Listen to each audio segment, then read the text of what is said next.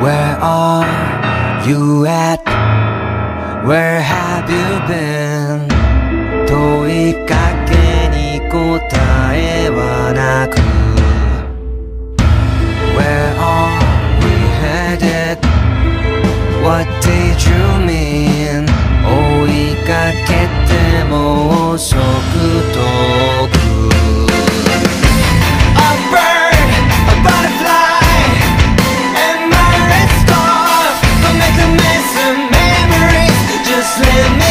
your sky.